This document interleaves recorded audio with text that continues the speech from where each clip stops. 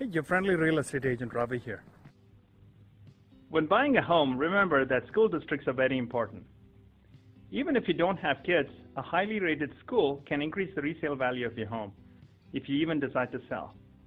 Buyers who have kids or are planning to have kids are likely to spend more money to be near public schools with higher scores. Because of this, even in a down market, a school district can help you protect your home's value. Yeah, I hope you found that information useful.